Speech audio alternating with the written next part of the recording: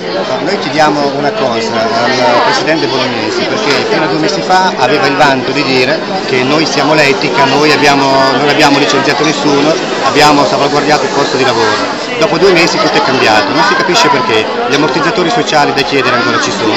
ad aprile ci chiederemo ancora uh, dell'altra solidarietà e probabilmente speriamo che ce la diano, in caso contrario tutti noi lavoratori siamo d'accordo di lavorare meno ma lavorare tutti,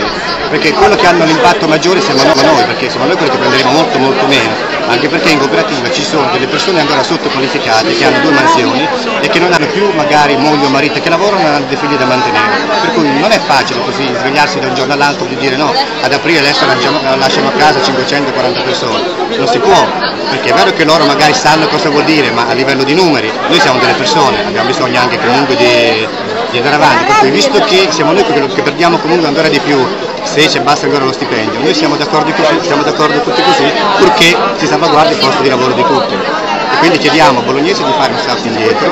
di riconsiderare quello che ha detto, di continuare ad avere il bando di questo motto, lui va davanti con questo motto e noi ne faremo la bandiera, però non si possono lasciare a casa le persone, non così.